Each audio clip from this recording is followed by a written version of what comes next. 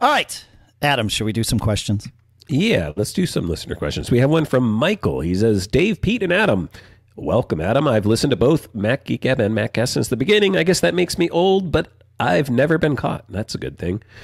Um, I need your geek wisdom on adding my desktop and document files to my iCloud drive. My first question is Do any of you use it?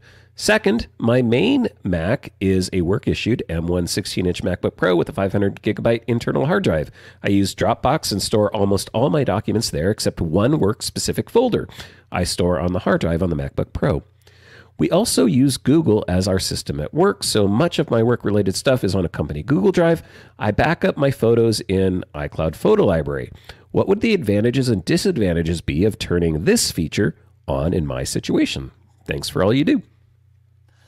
Yeah, I um I use the the the desktop and document syncing on all of my Macs. Uh, years ago, after upgrading to the two terabyte family plan, which last week I mentioned I might need to upgrade past, uh, it, because I figured, well, I have more storage than I need, which is getting to be less true. I, I thought, well, why not, right? And uh, but I am not using Apple's documents folder as my main document storage. Uh, for that, I use Synology Drive, but that's kind of a material. You know, you use Dropbox, whatever.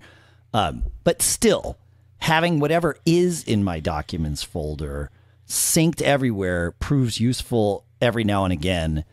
Uh, especially with the Files app on my iDevices. Yes, there are integrations for Dropbox into the Files app and Synology Drive into the Files app I haven't found anything that is as seamless as Apple's own documents folder in the files. Yeah, well, yeah, exactly. Like this is so when I need to get something to or from my mostly from like if I'm saving it from my phone or something, I will put it in the documents folder and I just know it's going to work. I don't have to like clunkily relog into my services and all that. So so that works fine and that's convenient.